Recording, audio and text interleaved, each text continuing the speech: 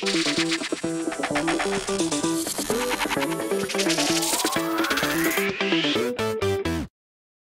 the Chicago Bears and Mitch Trubisky finally get a win for the first time in almost two months this weekend against Detroit?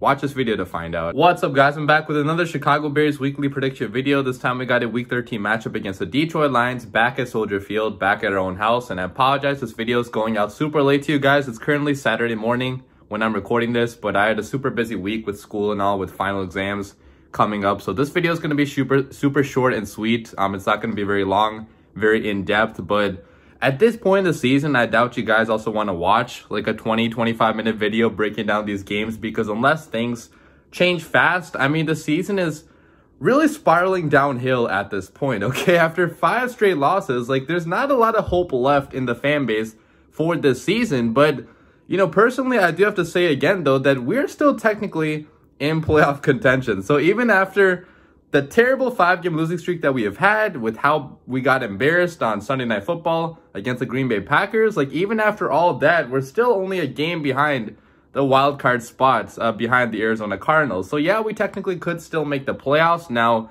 would that be best for the franchise long term to, you know, skip out on the top draft pick, skip out on like a chance of Zach Wilson or somebody like that? That's for you guys to debate in the comments down below. But personally, I would never root against a playoff run because I've only seen the Bears in the playoffs like four times in my damn life, like ever since I started watching football. So I would never root against a possibility because once you do get into the playoffs, anything can happen. And obviously you can still make big changes even if you do win too many games and make the playoffs because guys, like a lot of the top quarterbacks in the league right now, they were not even top five or top 10 draft picks. So yeah, it would be nice to have a top draft pick, but I would also not be too mad if the Bears did win too many games and made the playoffs because if we get the right head coach in here, if we get the right GM, that's worth way more than just pure draft position could be worth. And I really do feel like no matter what, as long as we don't make a deep playoff run, Matt Nagy and Ryan Pace are likely going to be gone because it seems like the McCaskeys are finally pissed at what's happening, okay? Because they expected the championship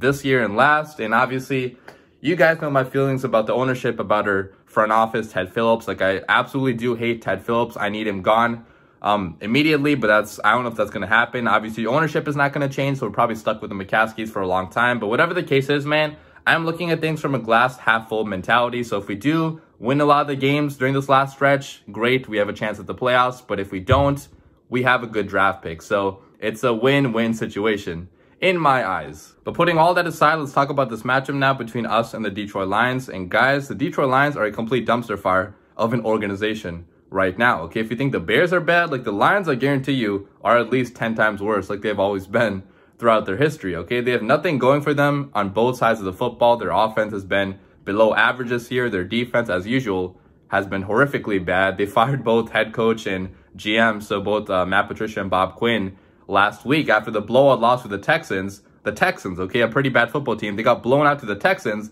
on Thanksgiving, so they cleaned house pretty much during the middle of the season, which is never a good thing because that's when you know you have hit absolute rock bottom. So the Lions are not a good franchise at all right now. They have a ton of injuries. I think uh, Okudah is out, Golladay is out, Da'Shawn Hand is out for this game. Danny Shelton and Desmond Trufant were both placed on injured reserve as well. So Guys, this Lions team is missing like so many players on both sides of the football. They just do not have a lot of talent right now, and their best contributors on both offense and defense are all out. Okay, we're not going to face Kenny Golladay again. We're not going to face their top two cornerbacks, Desmond Trufant and Jeff Okudah, which their secondary already sucks. So Mitch Trubisky and the Chicago Bears are going to be going up against like a third string Detroit team that already sucked to begin with. There's absolutely no reason why the Bears should lose this game. But since it is the Chicago Bears, since we are spiraling downwards this year, anything can happen in this matchup. If you look at the stats for the Lions defense, they're terrible all across the board. They're number 31 in points allowed. They allow 29.8 points per game. They're number 29 in yards allowed per game. They allow 396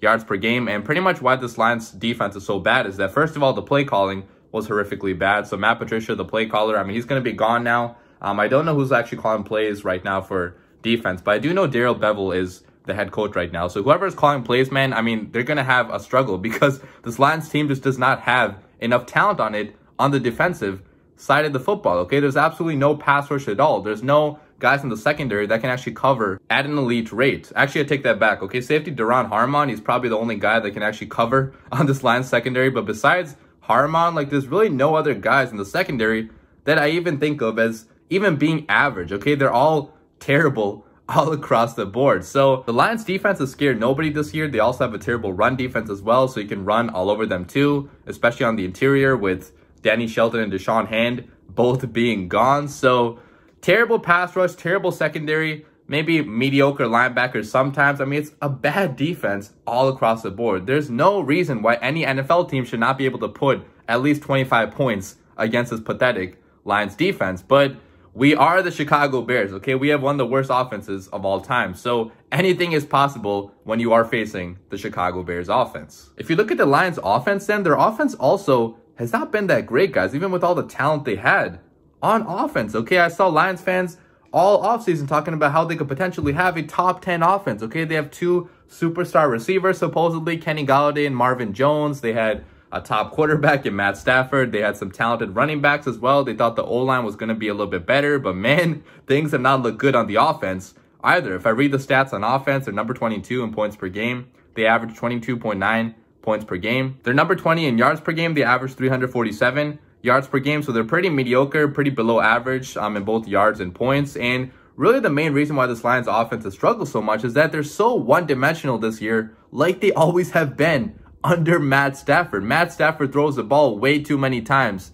every single game. They do not have a solid run game on this team. The Lions are 26th in the NFL in rushing attempts per game. They're 27th in rushing yards per game. So they really cannot establish any sort of run game this year because they get behind so early. Okay, when you're down like 10 plus points really early in the games, you cannot run the football as much as you want to. The trio that they have of Adrian Peterson, Kerryon Johnson, and D'Andre Swift, they have not been able to do that much this year or show off their talents because they just simply do not get enough carries. So not any sort of a run game on this team, but the passing offense also has struggled recently, okay? They're only 14th in total passing yards, which is not good enough for a team that has Matt Stafford, that has so many threats all across this offense, okay? TJ Hockenson, their tight end, leads their team in total receiving yards. Think about that, guys. A tight end has more receiving yards on this offense than Kenny Golladay, than Marvin Jones, two supposedly elite receivers in this league. And obviously, I still think they're great players, but there just simply has not been any sort of continuity on this Lions offense. There's been a lot of injuries. There's been a lot of other struggles, a lot of turmoil on this offense. So I'm not totally going to blame the talent on this offense because I do think they have a lot of talent. But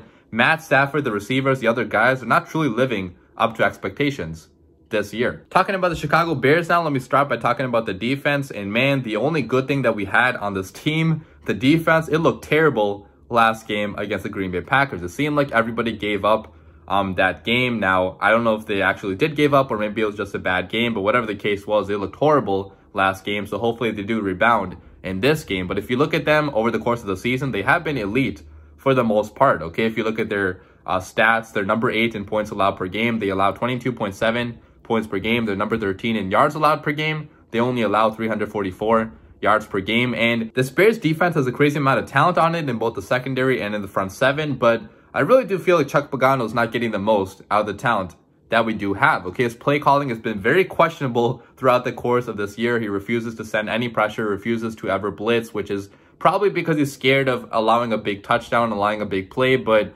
we've been allowing those plays now anyways, okay? The last game against the Packers, we did not blitz and look what happened. So I do think that Chuck Pagano needs to send more pressure, needs to dial up these blitzes because, you know, putting our best guys like Mack and Quinn in coverage, that's not the best use of their talent. So the Bears defense is still pretty good, but we're not as dominant as we were in 2018. Okay, we're not getting the same sack numbers, the same turnovers, the same, you know, big plays that we did two years ago. So yeah, we're still a great defense overall, but we're not scaring people like we did a couple seasons ago. So that's my take on the Bears defense. If you look at the Bears offense, then there's not a lot of things I can say about the Bears offense that I have not said on this channel already. It's a terrible offense all across the board, bottom five in practically every single offensive category. But I do have to say that we did look a lot better with Mitch Trubisky than with Nick Foles. Okay, maybe not a lot better, but we were at least moving the ball down the field effectively at certain points in that game. The turnovers he threw, though, completely ruined any momentum our offense actually had. Okay, both of them were terrible balls that Mitch absolutely should not have thrown, so he still makes a ton of bad decisions even in year four. So I mean, Mitch is by no means a great quarterback in this league, but he is at least a little bit better for our offense than Nick Foles was this year. And finally, let me get to my score prediction for this game. Who do I have winning this matchup? And I'm going to keep it short and simple. I have the Bears winning this one by a score of 24 to 22. So barely winning against the Lions at Soldier Field to snap their five-game losing streak and to win for the first time in almost two months. And to be honest, I really wanted to pick the Lions to win this one because I just do not have a lot of faith in the Bears right now to win these games. It seemed like they completely gave up against the Green Bay Packers um, on Sunday Night Football. So we could most definitely still lose this game. But I have us winning this one because I just do not see how the Lions are going to be competitive the rest of the year, okay? They have their top guys all being out. They have no talent in the secondary. Their offense you know, Kenny Golladay is not going to be there and they're falling apart themselves. And looking at how Mitch Trubisky has dominated this team, the Bears should definitely win this game. But again, I do have to say that anything is possible with how bad the Bears have looked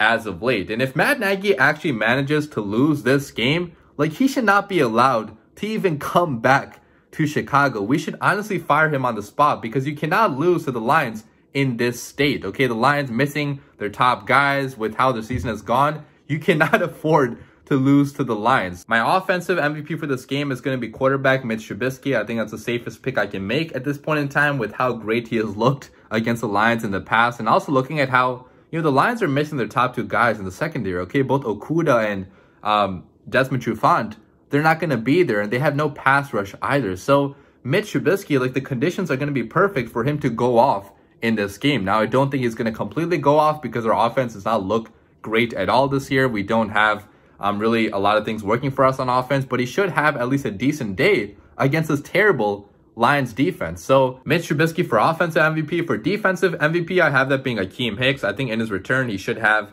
a decent day. And also just looking at how the Bears really missed him against the Green Bay Packers, I think just putting him back in the lineup, that's a big boost to our entire defense. Okay, on the interior, he does a lot of things for us that people usually do not notice. And I think in this game, especially against the Detroit Lions, we are going to notice those things. So that's pretty much going to wrap up my video. Let me know what you guys think about this all in the comments down below. Do you think the Bears can win this game? Do you think the Bears season is already over? Do you think we can make a playoff run still? Like, let me know in the comments down below. And again, I do apologize. This video is super short and kind of rushed as well, but I'm getting this out to you guys like super, super late. So I'll do a better job next week, but let me know what you guys think down below. And as always, bear down.